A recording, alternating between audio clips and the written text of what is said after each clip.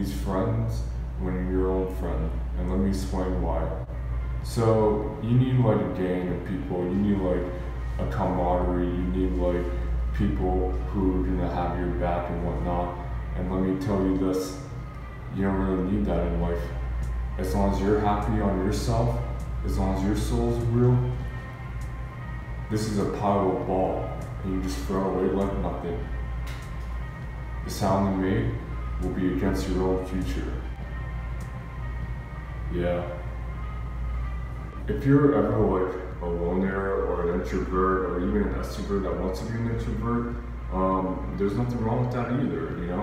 Um, most people that post on YouTube or go on the internet or just want to have fun by yourself, hey, there's no shame in that. I've done that for over 20 years and I'm been the happiest I've been in my whole life. I'm not crying about going to places or, you know, I may have acquaintances and whatnot, but, you know, as long as you're feeling good on your own, who needs friends when you're your own friend? Think about that. Well, stay tuned. I'll stay in contact with you guys in the near future. Peace.